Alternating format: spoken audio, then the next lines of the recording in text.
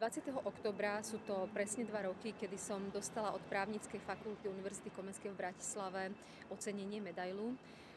Túto medailu som následne s dvoma mojimi kolegami vrátila. Vrátili sme ju z toho dôvodu, že spolu s nami ju dostali aj predstavitelia komunistického a mečerovského režimu a urobili sme tak práve z úcty k obetiam tohto režimu, ktoré majú konkrétne mená, mnohí z nich dodnes žijú. Sme presvedčení o tom, že takýto krok bol dôležitý aj kvôli tomu, aby sme pomohli vrátiť dôveru v právnickú profesiu a v jej etický rozmer, ktorý je nevyhnutný. O to viac ma mrzí, že v dnešných dňoch je jednou z najdiskutovanejších tém postoj jedného z vrcholných ústavných činiteľov, ktorý odmieta zverejniť svoju doktoránskú prácu.